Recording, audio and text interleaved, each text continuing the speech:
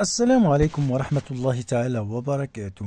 أنهت وزارة الأوقاف والشؤون الإسلامية إلى علم المواطنين والمواطنات أنها راقبت هلال شهر جماد الأولى للعام 1446 هجرية بعد مغرب يوم السبت التاسع والعشرين ربيع الآخر 1446 الموافق للثاني نوفمبر 2024 ميلادية واتصلت بجميع مندوب الشؤون الإسلامية بالمملكة وبوحدات القوات المسلحة الملكية المساهمة في مراقبة الهلال فأكدوا لها جميعا عدم ثبوت رؤيته. وعليه فإن شهر ربيع الآخر يكون قد استكمل الثلاثين يوما ويكون فاتح شهر جماد الأولى هو يوم الاثنين الرابع نوفمبر 2024 ميلادية. أهل الله هذا الشهر المبارك على مولانا أمير المؤمنين وحامي حمى الوطن والدين صاحب الجلالة الملك محمد السادس نصره الله باليمن والخير والبشر والبركات.